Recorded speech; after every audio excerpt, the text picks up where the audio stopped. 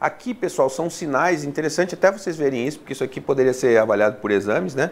Então, só para vocês terem uma ideia, ó, o que eles mostram aqui, ó. Após o primeiro treino, vocês estão vendo que eu basicamente expliquei tudo isso no quadro para vocês, né? Uma primeira característica química que acontece no primeiro treino é a desestruturação da linha Z. Isso é muito comum em quem está começando a treinar. Isso aqui que faz depois você ter muito é, extravasamento de creatina quinase e muita incidência de dor muscular de início tardio. Tá vendo que ele fala, ó, proteínas musculares no sangue? São sinais, tá? Isso aqui foi indicativo que o cara teve muito dano muscular, fisiologicamente tem redução de performance, a força fica prejudicada horas depois do treino, tá? E não tem um aumento significativo de área muscular. O aumento da área de secção transversal aqui, a correlação desse aumento é com o inchaço. Agora, se você for olhar para cá, ó, pós várias, várias semanas de treino, você já não tem, isso aqui realmente não acontece mais, você já não tem desestruturação significativa da linha Z, só se você pegar um treino muito diferente. Não tem queda significativa de performance, né? não tem o aparecimento exagerado de dano muscular e também não tem o extravasamento exagerado de proteínas marcadores de dano muscular. Tá? E ainda assim, a gente tem sim aumento da área de secção transversal, só que agora esse aumento da área de secção transversal está mais relacionado à proteína muscular do que o inchaço.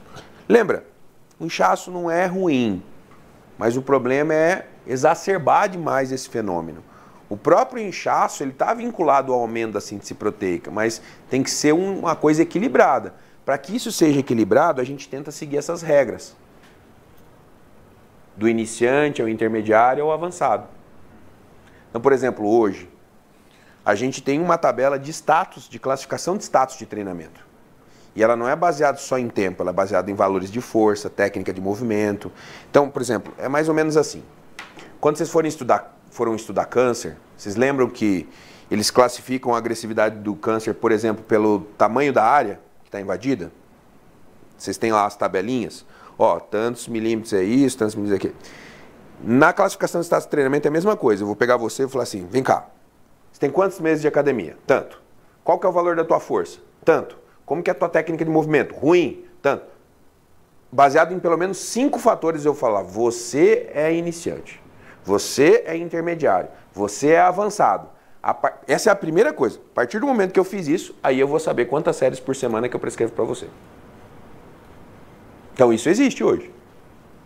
Essas orientações elas existem, uhum, bem claras, tá?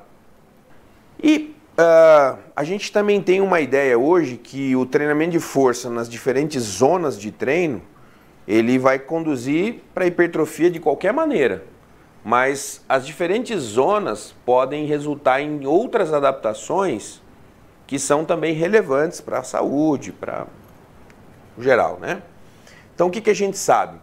Quando uma pessoa faz uma série que dura muito tempo, ela tem mais ativação de MP quinase. Lembra, metformina age nessa mesma via aqui, tá? Não sei se vocês sabem, mas são vias correlatas entre exercício e metformina, tá? Isso aqui, por exemplo, a MP quinase, ela aumenta a translocação de GLUT4, favorecendo captação de glicose e tal, hum, tá? Espécies reativas de oxigênio, que antigamente as pessoas achavam que quem se exercitava e produzia rosa ia morrer, não tem nada a ver uma coisa com a outra.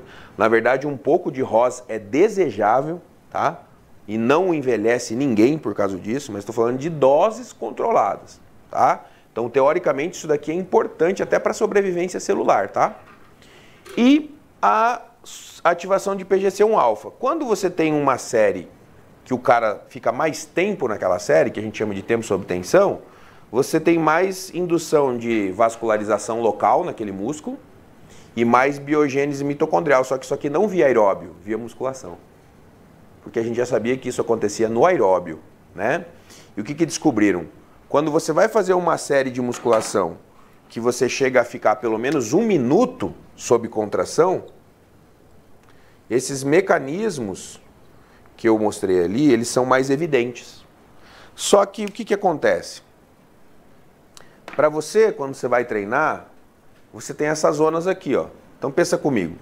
Se o professor colocou para você um treino com muito peso, você não vai conseguir fazer muitas repetições, vai? Não, né? Então teu tempo sob tensão fica reduzido. Todo mundo entendeu o que, que seria o tempo sob tensão?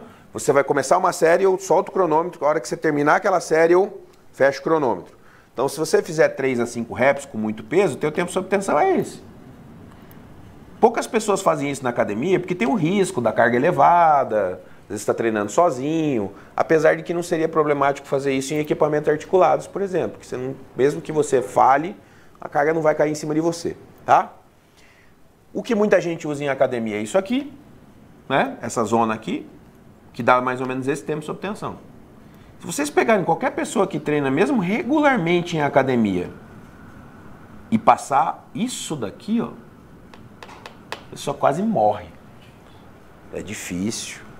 Tanto é que imagine fazer 20 repetições direto, 30, ou mesmo fazer 10 tira-peso, faz 10 tira-peso, quer dizer, no final das contas, aquilo ali tem, produz uma, um, uma, um desconforto enorme, né? Porém, o que, que descobrimos hoje? Essas três zonas são igualmente efetivas para hipertrofia. Elas resultam na mesma hipertrofia muscular. Na mesma. Isso é uma novidade interessante. Só que o que, que mudou? Descobriram que com esse tipo de treino aqui você consegue essas adaptações locais no músculo. Isso inclusive em biópsia em idosos, mostrando que os idosos que faziam treino de musculação com mais repetições tinham mais biogênese mitocondrial local e mais vascularização local. Que é diferente quando você pensa numa corrida. Você vai correr, você está movimentando o teu corpo inteiro, isso vai acontecer. Biogênese mitocondrial, aumento de vascularização. Mas aqui eu estou falando o seguinte, você vai fazer exercício de bíceps. Você vai ficar lá um minuto. Essa biogênese mitocondrial e essa vascularização que eu estou falando vai ser por bíceps. Esse é o diferencial. Né? Então, a hipertrofia é a mesma, mas eu ganho isso aqui. E aqui, apesar da hipertrofia ser a mesma, eu ganho mais isso daqui. Então, numa pessoa que já se adaptou bem à musculação, inclusive nos fisiculturistas, eu sempre uso as três zonas. Primordialmente usando mais essa, algumas séries nessa e algumas séries nessas. Isso se chama periodização mista. No mesmo treino. No mesmo treino. No cara menos treinado, o que, que a gente faz? uma fase assim de quatro semanas, uma fase assim de quatro semanas, uma fase assim de quatro semanas. Isso é para o cara que nunca fez. Aí você tem que deixar ele mais tempo, mais semanas em cada zona dessa, para ele se adaptar. Quando entra para mim um bodybuilder, todos os meus bodybuilders têm isso aqui no mesmo treino. Às vezes no mesmo exercício. Por exemplo, a Ângela, se ela começa a fazer uma elevação pélvica, ela começa fazendo 12, 15 e termina fazendo 3 repetições. Então, a cada série ela descansa, aumenta a carga. Descansa, aumenta a carga. Pirâmide crescente. Escola americana, feeder, work. Exato. Per perfeitamente. Perfeitamente.